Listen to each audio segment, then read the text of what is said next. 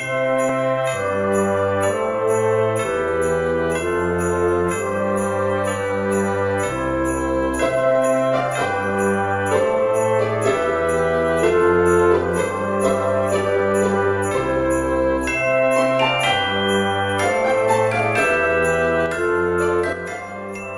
Sue and I'm um, hospice veteran and uh, I love James, I love Anita, I love singing and it's lovely to be here.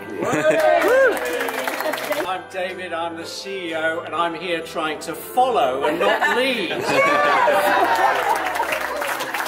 Claire, um, and this is a new adventure for me, and I'm really enjoying it so far. Hi, I'm Alison. I'm a friend of Ruth's who asked me to come along tonight, and my singing days have been reborn. I think.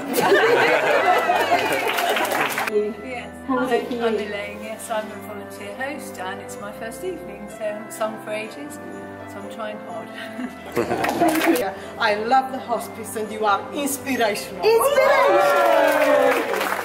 Hi, I'm Nigel, and Christine dragged me along, and I'm so glad she did, because I'm absolutely exhausted, worn out, and as happy as anything. Oh. Great de-stressor.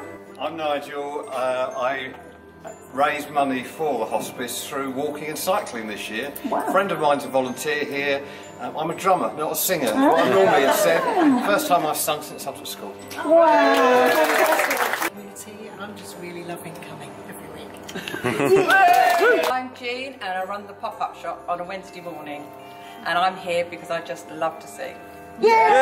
Barnes, you are amazing. you really oh. are.